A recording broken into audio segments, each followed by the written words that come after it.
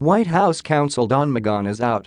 White House counsel Don McGahn left the Trump administration on Wednesday, a source with knowledge of the situation said to Business Insider. McGahn was said to be on his way out of the White House, which was expected to happen after the confirmation of Supreme Court Justice Brett Kavanaugh. McGahn reportedly had a 20-minute farewell meeting with President Donald Trump on Wednesday in the interest of ending things on an amicable note, according to a source cited by CNN.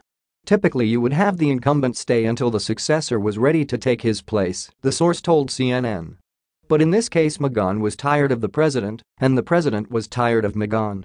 Another source disputed that claim and said McGahn wanted to stay with the administration until after the midterm elections in November, according to CNN. McGahn's departure adds to a long list of exits from the Trump administration. The turnover had already broken records fewer than two years into Trump's first term. Despite playing a critical role in Brett Kavanaugh's confirmation to the Supreme Court, McGahn's relationship with the president appeared to fray in recent months, according to multiple news reports.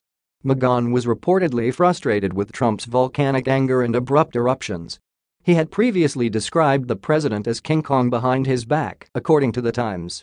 McGahn was also viewed as a check on Trump's impulsive actions and as a result found himself attracting the president's ire.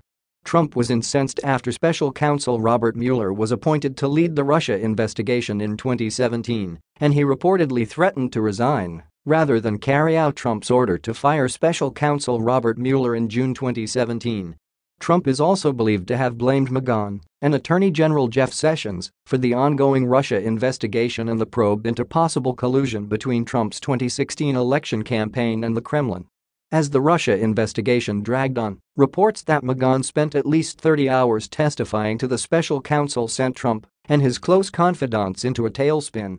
Trump floated the idea of replacing McGahn with attorney Pat Cipollone, a Justice Department veteran, earlier this week. Cipollone, who currently practices in a Washington, D.C.-based law firm, was reportedly working with Trump's legal team in recent months and has extensive experience with crisis management, consumer fraud, and constitutional issues. Trump described Cipollone as a very fine man, highly respected by a lot of people,